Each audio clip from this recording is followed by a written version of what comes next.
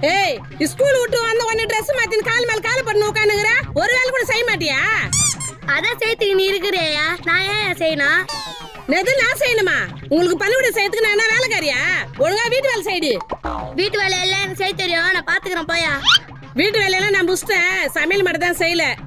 சமையல் தரையா? நான் பாத்துக்கிறேன் போயா. சமையல் செய்யற மூஞ்ச பாரு. உனக்கு நாடி செய்ய தெரியும்? கார குழம்பு வைப்பேன். வச்சு காமிக்கிறேன். என்ன பண்றேன்னு நானும் பாக்குறேன். நான் வச்சு காட்டுறேன். இதுக்கப்புறம் என்ன பண்றது? ஆயில் ஊத்தணும். ஆயா குழம்பு செய்யறதுக்கு ஆயில் வேணும். குடு.